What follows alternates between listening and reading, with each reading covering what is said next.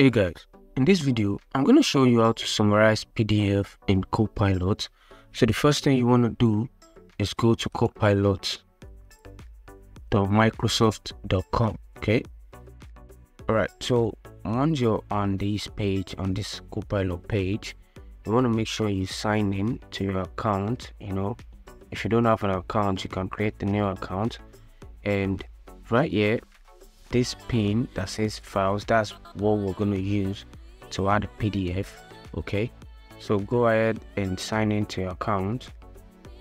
Right. So once you sign into your account then you click on this pin that says add a file right? Then you add your file your pdf whatever pdf you want to add you add it.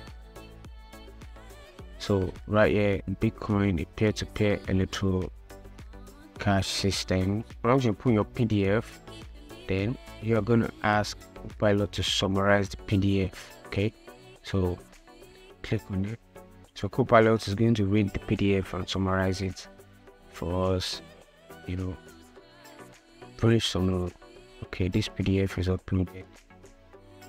So back to the home page. If you gained something from this video, make sure you leave a like, comment, and subscribe to the channel.